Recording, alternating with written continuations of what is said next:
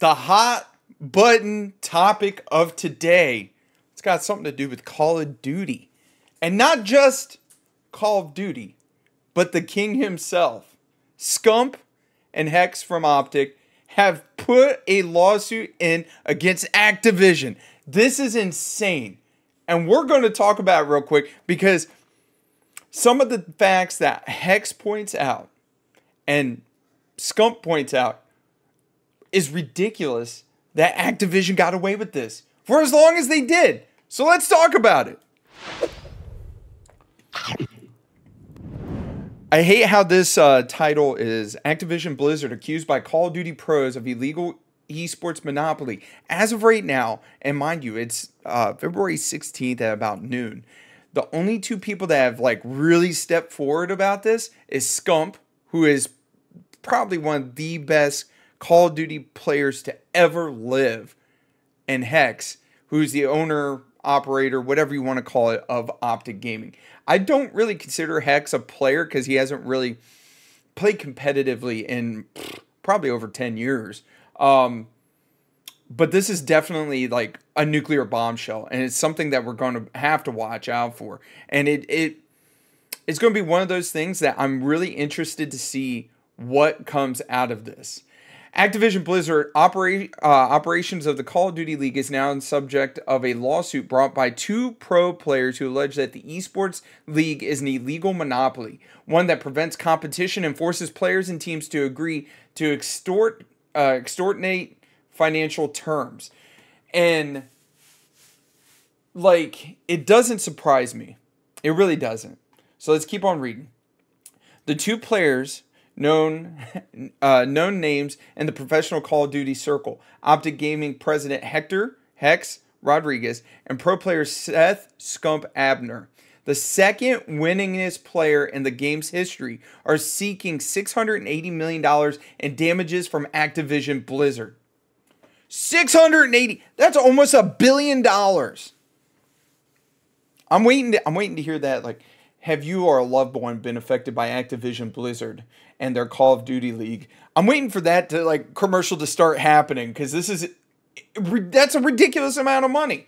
But the lawsuit alleges Rodriguez, who ran Optic Gaming Call of Duty team for years, was effectively forced into a financially devastating partnership with billionaires, investors, in order to satisfy Activision de- Activision's demands and gains uh, and gain one of the Call of Duty League's coveted 12 team spots.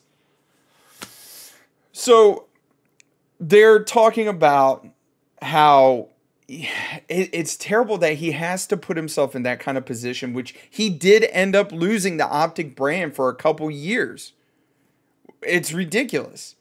As noted by the lawsuit recently filed in federal court prior to the formation of Activision owned Call of Duty League in 2019, competitive Call of Duty tournaments were operated by multiple organizations, including GameStop and Major League Gaming, aka MLG. And it's ridiculous to think about like MLG is gone, basically. It's effectively gone. There's no more MLG. You might ask why? Well, this next sentence tells you.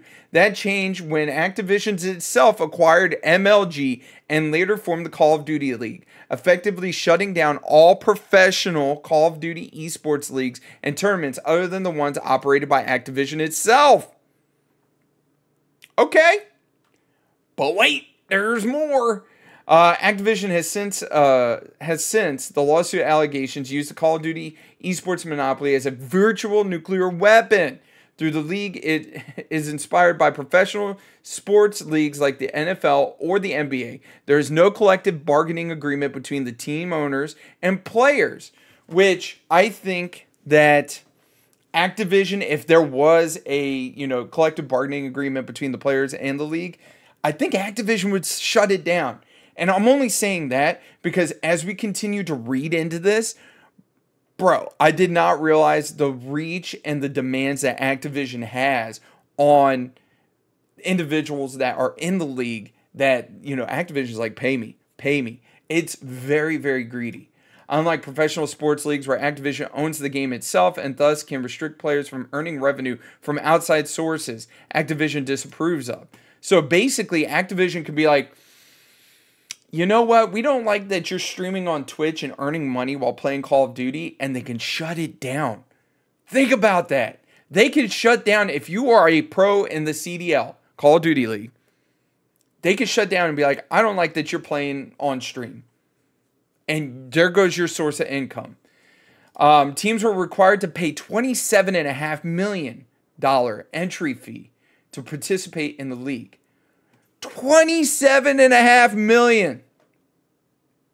Bro, I I don't even know like hearing numbers like that, it's like I can't even remember how much it was for a League of Legends spot. I just know that it's like it's pretty ridiculous. I I think it was like 50 plus million for a League of Legends spots. In addition, Activision receives 50% of revenue from ticket sales, sponsorships, and other revenue streams.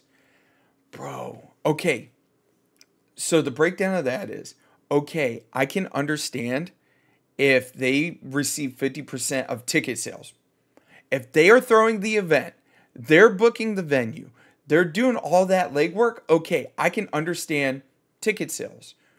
But if you have a sponsorship and let's say you're Optic Gaming, you have a sponsorship and they agree to pay you $2 million, a million of that has to go to Activision. That's stupid. Especially if the sponsorship is for the team to throw it on their jersey to, you know, help support that team. Mm-mm. Bro. And then other revenue streams like that that to me is just it's just mind-boggling to think that Activision has that kind of reach and demands for organizations like it would I would not blame organizations being like nope we're out if you know they're not making any kind of money it, that's dumb players are barred from commercializing Call of Duty gameplay on places like Twitch and YouTube as well and required to um, to potentially lucrative brand deals uh, to Activision. Secede potentially lucrative. So basically, give all the brand deal money that they could potentially make to Activision. The lawsuit alleges players and teams were either forced to accept draconic anti competitive terms that were favorable only for Activision and its monopoly or exit the market entirely. Bruh.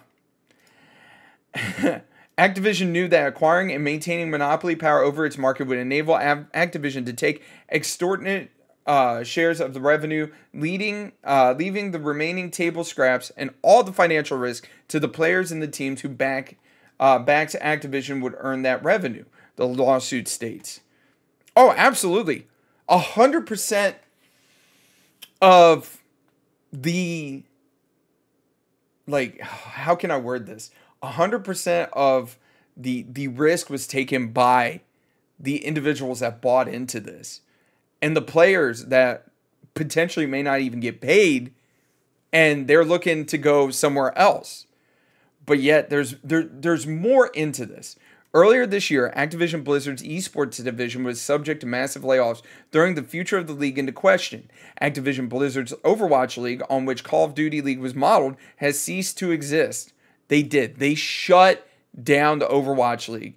And I believe there's an ongoing lawsuit with the owners from the Call of Duty, I mean, the Overwatch League over being like, yo, where's our money? Because I want to say it was almost 20, 25 million for a, a team that you could get in the Overwatch League. And there was a lot of people that paid a lot of money to watch it succeed. And Activision just fumbled the bag. And I don't see how Activision's going to struggle and lay off these individuals that are keeping the Call of Duty League up and running, considering that Call of Duty, year in, year out, except for last year, has been the number one selling game.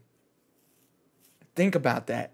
Year in, year out. Call of Duty is the number one selling game every year. Every year. And you mean to tell me the division that kind of gives you the press and the the the eyes on the game to push the pros is the ones that um, you're you're you're going to fire. It doesn't make sense to me.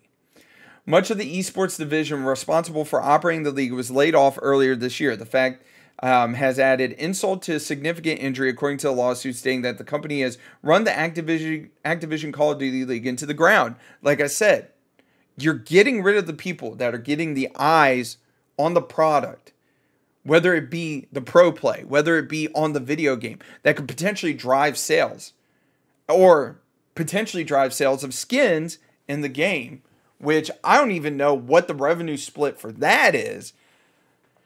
Uh, you know, into the ground. It 100% is dragging it into the ground. In a statement to Bloomberg, an Activision Blizzard spokesman has said that it has no bias I mean, basis on facts or laws, and that will strongly defend its claims against. I mean, defend against the claims.